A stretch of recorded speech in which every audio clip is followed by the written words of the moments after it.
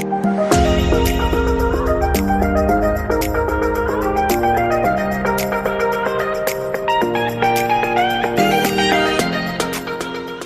everyone.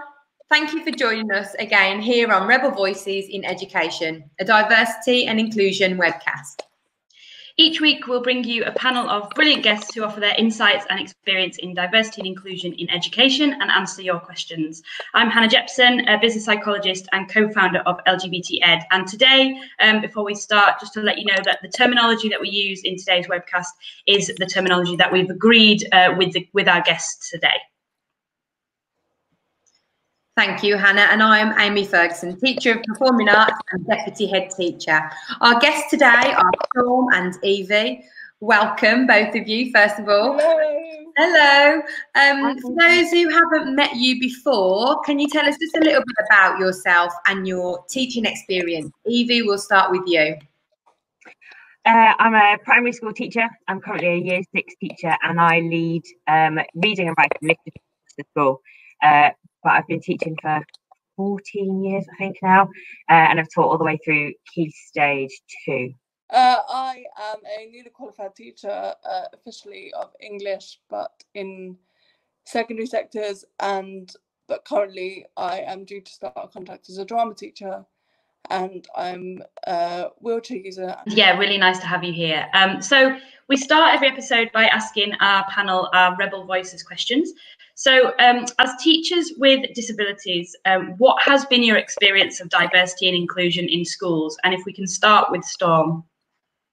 It's been a whole journey to, you know, get to where I am right now. Um, I was very lucky in when I trained as a teacher, I had, and uh, I was at the Institute of Education, and I had an amazing, amazing tutor who was totally on board. And it's about uh, I think for me, it's been a mixture of finding the allies that you need and also um, facing some real, real struggles and being able to fight. It's mainly imposter syndrome, I think. I think when you are in a minority, especially if you're a teacher, there is feels like there's already so many things against you and you already have so much more to prove than other teachers certainly when I was training, I felt like I was constantly on the back foot. And um, so my experiences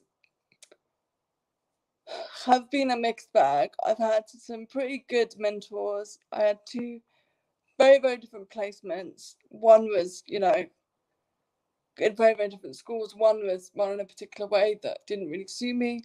And then one I found a really good mentor and had a much better and positive experience. I think diversity and inclusion is everyone's responsibility. It isn't just about um, the teachers. It's it's about the children as well. And you'd be surprised the amount of um, negative negative attitudes towards other from other teachers, from staff members. So what I think what you really need to know when you are a teacher with a disability is that people are on your side and they want you to succeed and they want you to do well and they're willing to adapt and change things in the way that you um, need them to be done. To pick up on, you talked about that kind of imposter syndrome, and how how did you kind of how are you still kind of working through that? Because you know we we we lots of us face it anyway, and then if you're part of a minoritized group, then you know it, it potentially is even more um, we experience it even more. So how have you what are the things that you've done to kind of support yourself through feeling that? Oh it's like it's a massive process and you still feel it every day. Like it's not something that and but i think really it's about making sure that that you affirm yourself you know you say because you got a job because people want you because you're a good teacher. So people have clearly seen that you're able to do this job and it's about having kind of the self-belief and the motivation to think no actually i do belong in this situation. And diversity is inclusion is about having everyone at the table. So i think just things like positive affirmations like all the mindfulness stuff that they teach us you know when training to be a teacher especially a drama teacher all of that really helps and realizing that sometimes it isn't always about you. Sometimes it's about another person's projecting how they feel onto you, and then therefore that makes you feel a certain type of way. And I think, but yeah, and also finding really, really good allies. You know, I found two or three amazing people while I was training to be a teacher. One of them was a friend, one of them was a mentor, one of them was my university tutor. And as long as you have a few people, it doesn't have to be everyone, but a few people that understand your magic and what you want to bring, then it makes the journey a lot easier. Thank you so much. Evie, over to you. Uh, my experience has been different over the years because so I've been a teacher for I don't know whether it's 13 years or 14 years. I was trying to count, I couldn't work it out. Um, but when I came into teaching, my hearing loss wasn't that great. So I, I call myself deaf, but strangely enough, when I introduced myself, I used the sign for hearing impaired because my hearing has gotten worse over time. So I was born hearing, then went deaf, had my hearing corrected, and then or fixed, whatever, however you want to term it, and then it's um, deteriorating over time. So when I first came into the profession, I could I didn't wear hearing aids. I just lip read all the time, and over the last kind of ten years or so, my hearing has deteriorated to the point where I now wear two very they're very well hidden, but I wear two hearing aids, um, and it does. I work in a mainstream school, but it does affect everything I do. I lip read all day, every day. It makes me really tired, and that kind of it, it, it's around me all the time. So from where I was when I first started teaching to where I am now, my experience has kind of changed over time. Whereas when I started teaching, I didn't really need to mention it, and I just kind of it was my thing. I dealt with it, and I put things in place to help myself. Now I'm at the point where I have to tell people because I need their help now. But where I work, everyone's so lovely. I've been here for six years, and my uh, HR knows, the head knows, and they make allowances. And they allowances is the wrong word. They put things in place so that people don't tend to notice my disability. It's just part of how my classroom runs. It's part of how I work. You know, I sit at the back in staff meetings so I can see the front, and but everyone just knows, and it just is, and it's become part of um, the culture here. You know, I'm not the only one with a hearing loss, and I'm not.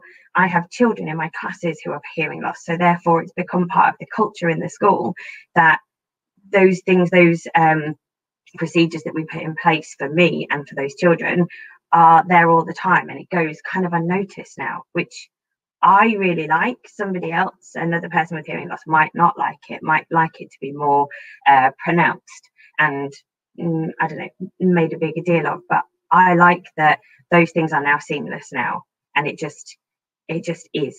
Everyone is on board, and everybody understands. Evie needs this. Evie needs that. We'll turn the lights on so Evie can see this, and it, it's not it's not talked about anymore. Everyone is just inclusive. It's a really lovely place to work. This and it's I'm actually here right now actually and looking at all the things that are in place around my room to help me, and it's it is seamless now, and it's been it's been a journey getting here, but um, I'm definitely very grateful for all the things that are in place now.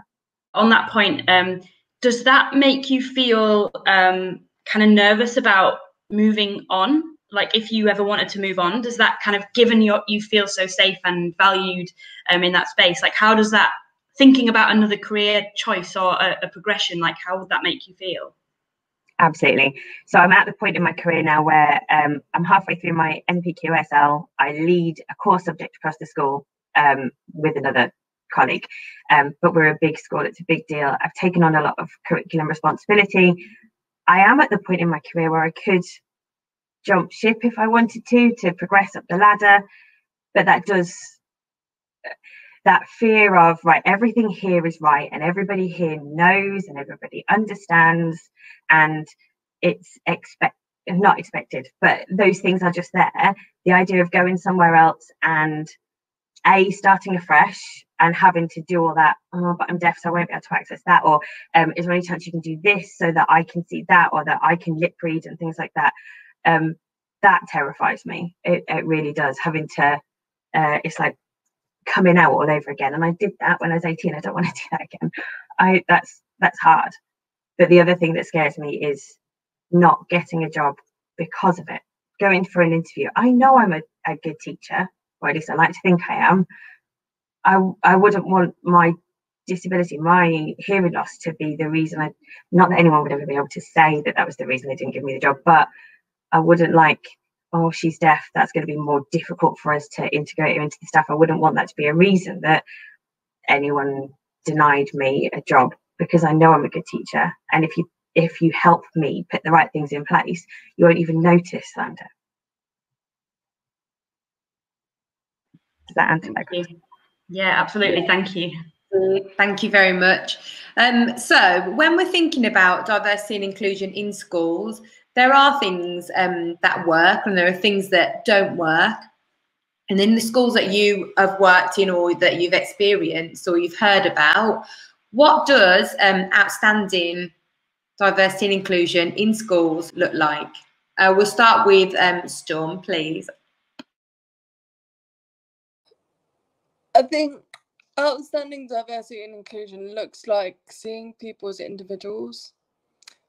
Um, it's being willing and able to do things in a in a slightly different way, um, and not seeing that as a disadvantage, but rather as an advantage. I mean, I I totally related to what Evie was saying because I'm just at the start of this for me. I've never and I've been trying to find any other teachers in London that have um, any ambulatory dis- like disabilities. Have you know, just so I can ask somebody else, you know, how do you deal with X, Y, Z? What kind of and I really get the whole thing of not wanting to leave a safe a safe situation. In terms of uh, sorry, I completely went off on a massive tangent and um outstanding what works. I think yeah, being able to see people as individuals definitely finding the one of the biggest things is having the faith to say, do you know what? We want you to be here and we want to find a way to make this better for you. Um, and even when you don't know the answers, being able to go out and find them by asking someone else who might have the answer and having an open conversation about needs, about respectable how to make spaces better um, what doesn't work, I think a culture of fear is a really, really toxic thing. I think it ebbs into the kids and then it ebbs into the staff as well. Because I think if people are going into an unfamiliar situation, training as a teacher is hard enough. Training as a teacher when you have a disability and you know that people may already be holding a certain preconceived judgment about you means you need someone to go, do you know what? We really want you to do this, so we're going to find a way. And I think, yeah, a culture of fear is really, really harmful. But the willingness, the space, and the time to see people as individuals can create an outstanding result. Evie, what do you think? For me, it's having the space to have those conversations. So either going out out of your comfort zone and explaining what you need, or the people you work with, there being a culture whereby they can just come and ask, not making assumptions. To make assumptions is the, in my opinion, is the worst thing you can do. To hear, for me, because I I don't sound deaf, I speak really clearly because I was born hearing. I people don't assume that I'm deaf until people see my hearing aids or I take them out and then I do slur slightly. Or if I actually say something, then they think to ask. But it's almost that knife edge of people are scared to ask for fear of offending.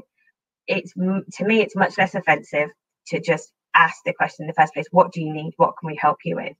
And that to me is inclusion to ask somebody what can we do to help you access this? or what do we need to do to level the f- playground? you know so that everything is um, open and and there is that honest dialogue.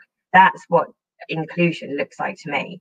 In terms of um, what diversity looks like i think that's having people on staff that look and have those differences so that our children see that the world is diverse that there are different types of people in the world you know having we're a fairly big staff we're a, a three form entry primary school so there's three teachers at least in every year group we're quite a big school we have a large amount of tas we are a big staff we have enough staff here to be able to represent the full kind of spectrum of humanity, which is really lovely. And it means that our kids see um, gay teachers, deaf teachers, BAME teachers, they see everything, this entire spectrum. And that helps them see what they could be in their future. You know, they see themselves reflected in some member of staff somewhere in the building. And I think that creates this inclusive atmosphere, this diverse atmosphere where everybody is accepted, regardless of who you are, where you're from, how long you've been in the country, whatever disability or your skin color. I think that just reflecting and having that open dialogue for everything just builds a culture of diversity and inclusion. I do think that is so important. We we do speak about um, this a lot about the fact that the the teaching staff, the support staff, the um, anyone who's working in the school needs to be you know representative of that kind of student body as well, doesn't it? So that people feel included, people see themselves. Because if you don't, you you feel invisible, and you grow up with that kind of hanging over you that you are invisible. Han. Yeah, absolutely, totally agree. And and and also like I think um, there's a real danger sometimes for people to assume that schools are this like bubble um, that exist kind of separate to the rest of society, and actually they're they should be a real reflection, so that when you send young people out of your school, they aren't surprised by how diverse the world is. Um, so I think that they're they're all really good points. Um, and I think to your both of your points before, it's about kind of um, creating safe spaces where you can have potentially uncomfortable conversations because some of them are going to be uncomfortable but knowing it's a safe space to ask how do you like to be referred to? Like how do what's the best way to, to talk about this? You know that they're the ways that you can then kind of yeah help you to feel safe and valued but also help people to ask the questions that they they might not have ever come across before. Um, and i guess to that point really um, the next next question is around um, not everyone is on board with this stuff instantly. Um, it's not. It's not. It's not like um, it, it's a journey, isn't it, for everybody? Um, and everyone's got varying levels of comfortability with some of this stuff in terms of DNI. So I guess um, I guess for us, we're just interested in thinking about your perspectives on how do you change hearts and minds when it comes to some of this stuff. So what what are the things that you use to change people's um, yeah views or, or, or kind of stagnating opinions on some of this stuff and, and i'll go to Storme first if that's okay. Okay. Um i mean like i feel like there's two points to be made here. Like like you should always do your best to do your job to be as excellent as you possibly can and we all know that because we're all education professionals. But at the same time you shouldn't exhaust yourself trying to prove yourself to someone or to prove yourself your worth and your value in a situation.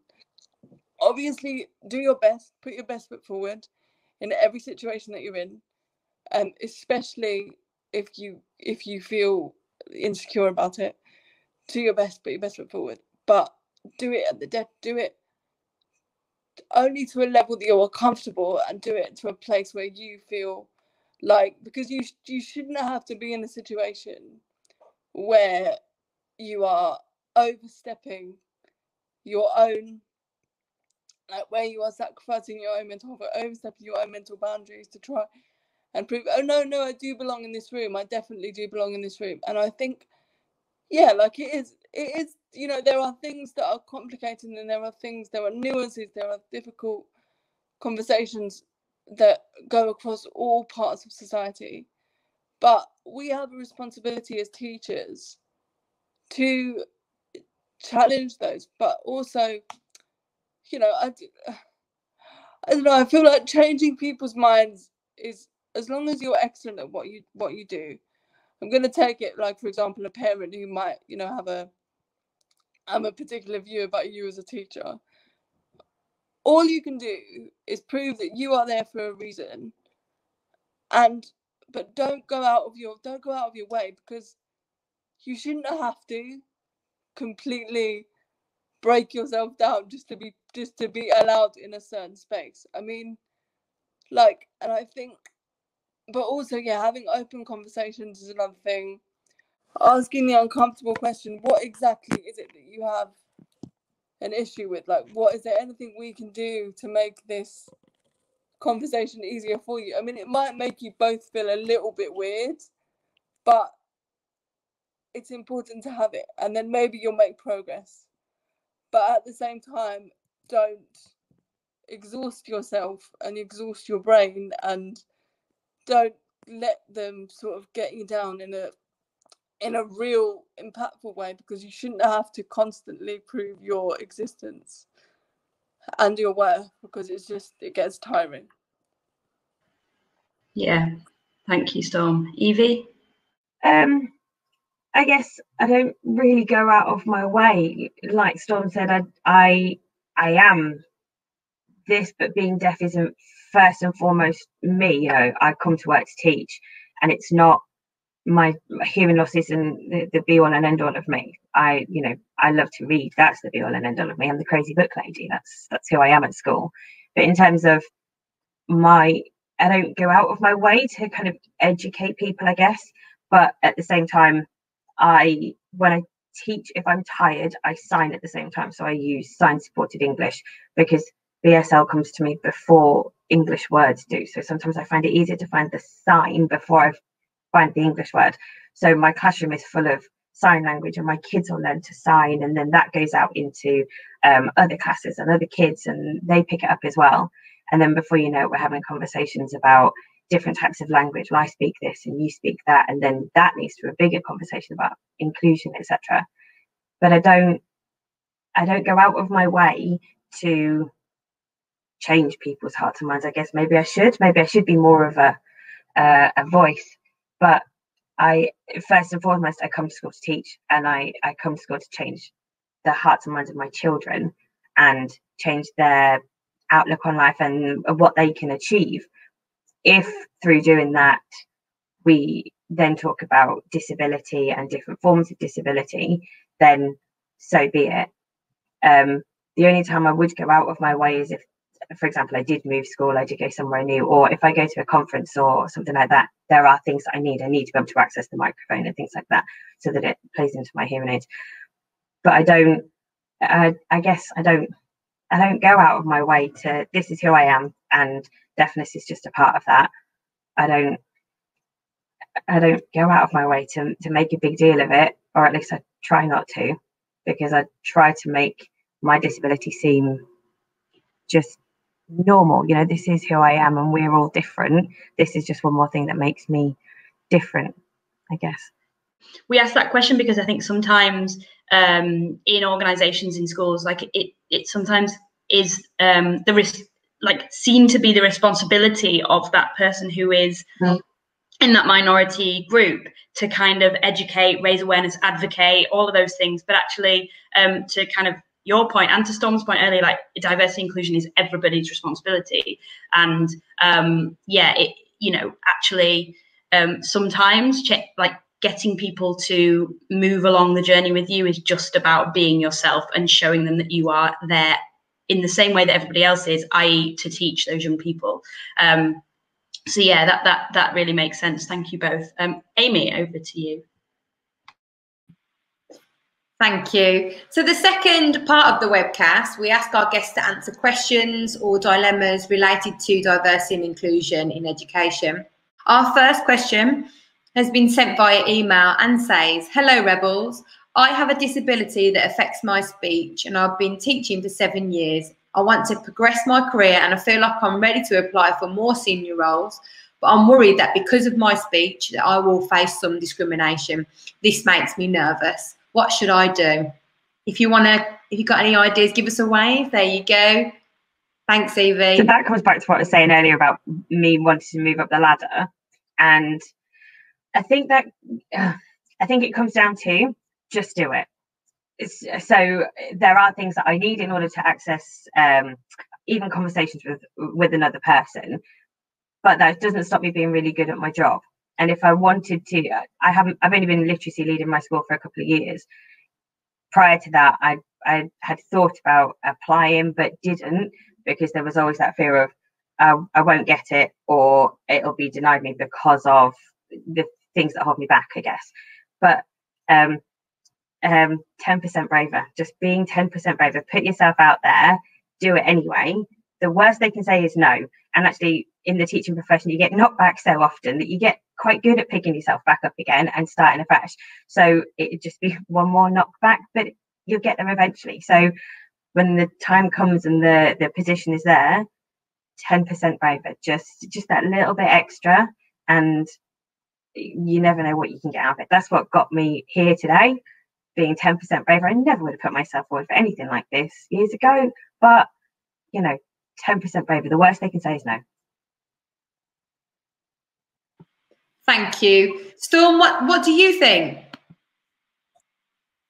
exactly, basically what Evie said. I mean, it's really, and I understand how hard it is because for me, I had to take a year out between do, do, doing my PGCE and getting my first teaching job. I wasn't successful in, uh, I think I had about 30 interviews and I've just managed to get my first year. So I totally understand when you feel beaten down and you're, especially when you already have something in your head that is telling you that you don't belong in that particular space. Um, the what I would say is that you you if you do face any discrimination you have to remember that it isn't about you. It's not something to do with you. It's not because you weren't good enough.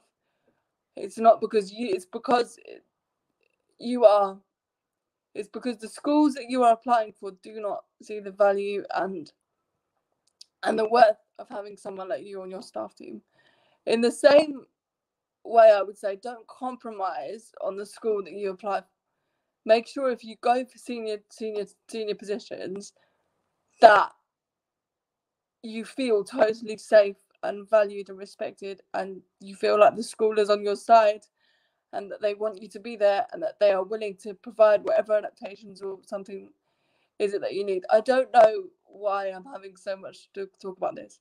I'm just at the start of this process for me and i and i'm very much aware of that. Like i have so much still to learn and I have a very I have a very unique perspective on this, of course, but you know, I do hopefully want to progress up the teaching ladder, but I am just starting, so it is like I do I'm aware of that as well. So well, just to speak on on what you've just said, Storme. Um, please don't uh, think that just because you are you know just starting out on the journey that that makes your opinion or your viewpoint whatever um, any less valuable because that's certainly not the case and that's the reason you know that we asked you to come because we want to hear from lots of different people at lots of different times in in their teaching journey or wherever they are in their kind of uh, diversity and inclusion journey, it's really important that people hear from you. Like you're saying, you want to make connections with, you know, um, lots of people, and this and this is the way to do it. And it's important that we are, you know, visible and we're out there and talking about things that we're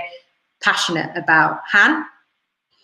Yeah, just absolutely uh, echo what Amy said, and I think you know it's your unique perspective that we absolutely wanted to hear from today, and it's you know you know it's already been so valuable for me for me to listen to that. So i know that everybody else is going to find um, both of your inputs really valuable. So yeah it, it, you know the, the, the webcast is called rebel voices not senior voices. You know we, we want people who have got unique perspectives and and great insights in in in kind of diversity and inclusion. So yeah don't ever think that just because you're not uh, a senior leader yet that you, we don't value your opinion because we really do.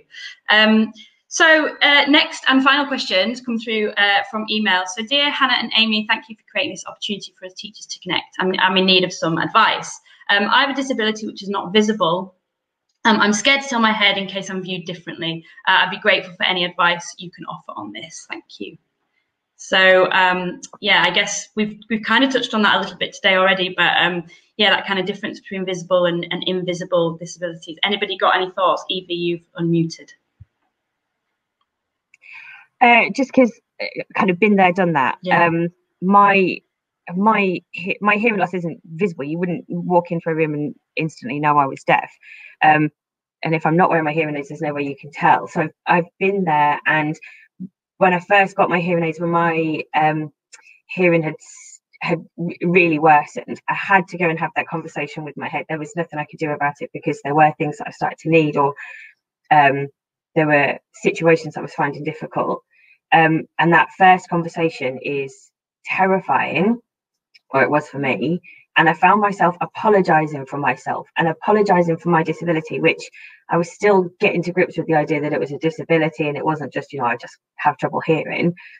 That first conversation that I found myself apologizing for needing the lights on or finding that it was apologizing for needing to leave my classroom door open so I can hear what's going on. And that's not what it needs to be that that conversation that you have needs to be this is who i am. You already know i'm a good teacher.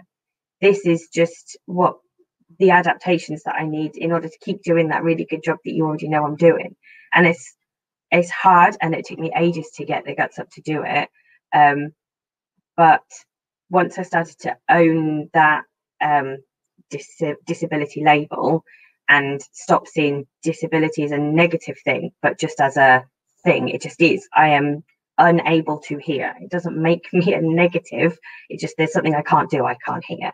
So I went and had the discussion on that front rather than um, apologizing. The first time I went, I went and apologized for everything. You know, I'm really sorry, but I'm going to need this, and I'm really sorry. Is there anything you can do to help me with that? But then went back. Must have been about six months later when my hearing loss had increased and I had new hearing aids and stuff and went and said, actually, there's there's nothing wrong. I'm still doing a really good job, but these are the things that are going to allow me to do an even better job. I'm not going to apologize for who I am. I just can't hear like everybody else can, and I want to be visible to the rest of our, you know, the school and the children here because we have children on in school who have disabilities. Want them to see that you can grow up and be um, successful and do what you want to do regardless of a disability. So having that first conversation was it was terrifying. I did find it really difficult. But then once I'd said it and I'd started to own that label of I have a disability and I saw it as not a negative thing anymore, but as a I just have an inability to do something, then it made it much easier to talk about and much easier to ask for what I needed when I stopped seeing it as a negative and stopped apologizing for myself and just asked for what I needed. Does that make sense? Yeah, absolutely, it does. Yeah, and and and actually, um, you know, you, you, you, you just use the words there like an inability to do something, but actually your story about actually how people who come into your class can now sign and they talk about that actually like it's reframing it, isn't it? Right? Because you, yes, you can't hear um, as well as I can, but actually you have you have so many other things that actually you're bringing to that classroom that really enrich those young people's lives um, in a way that you know somebody else couldn't do. So it's kind of reframing it, isn't it? Yeah, yeah, taking that negative spin off the word disability, and but it's taken me a long time to do that. And I'm not saying that everybody will ever feel that way, but for me, turning everything on its head and stopping, stop seeing myself as a a, a drain on the school, and you know, oh, they've got to change this and this and this, and more as a yeah, but I bring an entirely new dimension to the school. You know, we've got deaf kids in the school, and now they see deaf teacher.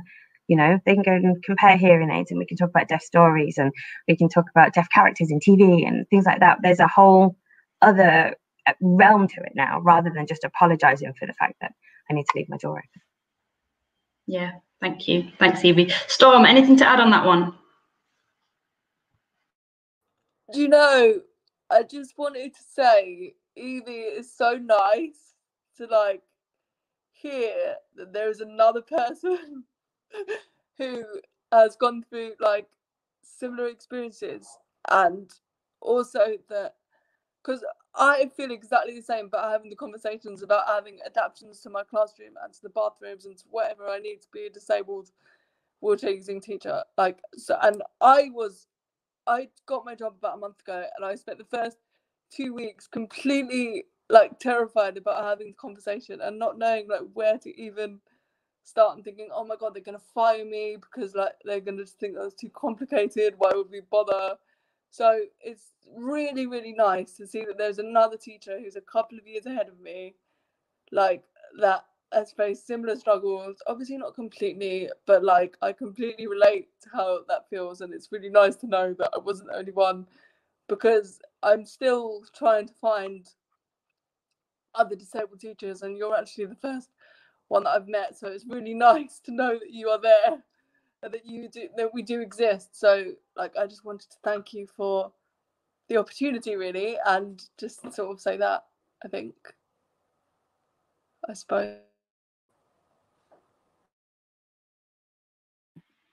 Thank you. Really valuable insights from both of you there. The last thing that we ask our guests to do is to tell us in one sentence how you're going to continue to be a rebel voice in education. So, Storme, let's start with you at the start of your journey. What are you going to do? Um, I hope to prove that disability is not a barrier to success and that I hope to be the teacher that 14 year old Storme really wanted to see in the classroom and really wanted to know about. And I hope to make other young women and young men feel seen and accepted and loved for themselves. I'm going to continue to be unapologetically me and stop apologizing for uh, my hearing loss and who I am. This is, you know, this is me stop apologizing, stand up and be seen. I fit so many minority categories that I feel that my kids need to see me. I want to be, I think I finally am the the person that like 14 year old Evie needed to see. So uh yeah, keep being unapologetically me.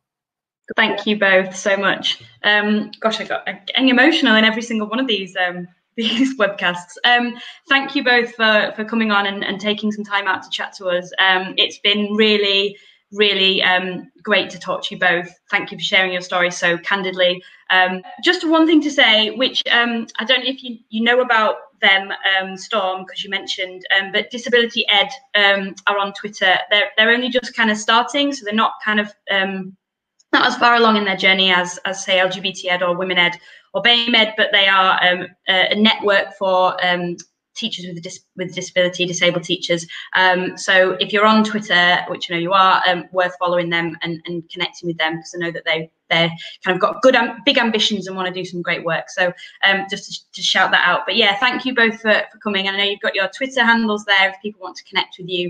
Um, and I'll just hand back over to Amy to uh, close us off.